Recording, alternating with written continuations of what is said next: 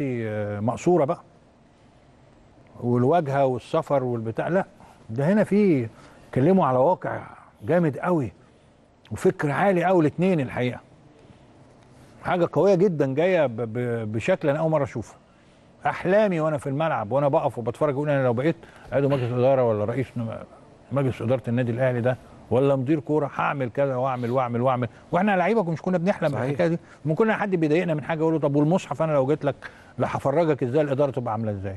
والله أنا لو جيت لك في المجلس الإدارة لا الراجل الغلبان ده لا هعمل له واسوي له وأعمل له تكافل وأعمل له تأمين وأعمل له كل حاجة. دي حاجات إحنا كنا بنكلم نفسنا فيها وإحنا لعيبة كورة. صحيح. ما كانش ظروف ايامها تسمح لنا. وكنا بنخرج على وقت ودلوقتي الوقت الوقت اللي إحنا موجودين فيه ده وقت بلد بتتلم فيه تاني العيلة بتتلم كلها تاني. العيلة بتحط ايديها في ايدين بعض تاني. مصلحة مين إن إحنا نفترق؟ مفيش حد مصلحة حد. إحنا وطننا دلوقتي لو كنا سمينا الأهلي ده وطن وطننا أولى بينا وطننا أولى بكل ولاده. مصر أولى بينا كلنا. عايزين نبعد عن كل الشوائب اللي إحنا حصلت الفترة اللي فاتت دي. اتمنى ونمد ايدينا في ايدين بعض ونلم ايدينا على المعتدي عني في اي حتة في موقعي في اكل عيشي في بلدي في اقتصادي في سياحتي. أنا بكلمك من قلبي مش بكلمك في ناس بتتكلم بحس انه شعاراتي شوية شعاراتي شوية. بس أنا بكلمك من قلبي.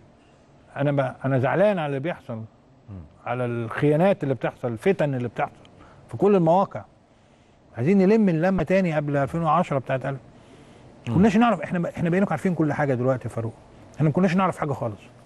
أنا كنت لا أعرف الجيش بيعمل إيه ولا كنت أعرف ال- الرئاسه بتعمل إيه ولا الحكاية بقت مفتوحة خلاص دلوقتي بقيت دلوقتي مفتوحة على محمود طاهر على طول مفتوحة على الخطيب على طول مفتوحة على القيم كلها مفتوحة على مرتضى. الناس بقت تطلع تتكلم كتير الناس بقت عايزة الشهرة. عايزين نلم بقى نفسنا شوية. ونرجع تاني لأن اللي بيحصل جوه ال- ال- المجلس ما حدش يعرفه خالص.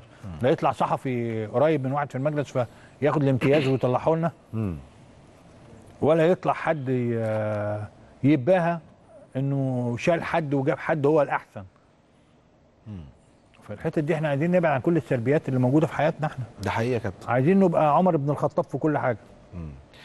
وقبل ما اختم معاك كابتن أنا بقول النادي الاهلي مش نادي فقط ده مؤسسة كبيرة وطنية مؤسسة وطنية كبيرة رياضية بتعتمد عليها الدولة بشكل كبير يا كابتن في آه، إخراج أبطال للعالم بالنسبة لمصر وأكيد بطولات من خلال فريق الكورة والسلة والطايرة واليد سواء رجال أو سيدات أكيد وجوده في أحسن مكان أو في حالة استقرار وفي حالة إدارة واعية بتكمل مسيرة الإدارات اللي قبل كده هو ده اللي إحنا محتاجينه. هو ده النادي الأهلي هو ده اللي إحنا مستمتعين بيه واللي أنا وأنت النهارده كابتن شريف بنستمتع بيه وهنروح نكمل استمتاعنا بيه دلوقتي في النادي وإعلان النتيجة سواء مين هيكون متواجد إحنا في ظهره كأولاد النادي الأهلي. كابتن شريف عبد المنعم بشكرك. شكرا جزيلا بشكرك وبكمل. وبكمل لك حتة المؤسسة إن هي مؤسسة مصرية ملك لاعضائها وجماهيرها ولوطنها.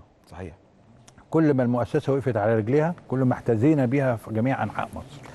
اشكركم طبعا ومتواجدين طبعا معاكم ومكملين من خلال قناة الأهلي يعني في هذه التغطية الكبيرة والجميلة من قناة الأهلي لعملية الانتخاب لرئيس النادي الأهلي وأعضاء مجلس إدارة النادي الأهلي اللي هيكونوا متواجدين إن شاء الله النهارده أو بكرة في الساعات الأولى من الصباح وهنبارك لهم كلهم كلهم طبعا سواء رئيس النادي أو أعضاء مجلس إدارة النادي الأهلي الجداد لمدة أربع سنين قادمة إن شاء الله يكونوا فيهم ازدهار أكثر للنادي الأهلي وجوده في مكانة أكبر مما هو فيه كنادي كبير وأعظم نادي في الكون زي ما إحنا بنقول وهو النادي اللي فوق آه، جميع أبنائه طبعا النادي الأهلي أعظم نادي في الكون. فأنا بشكركم شكرا جزيلا مستمتعين بهذا اليوم. إن شاء الله هنكمل استمتاعنا بهذا اليوم مع زميلنا هيثم السعيد. هيكون متواجد معاكم بعد الفاصل.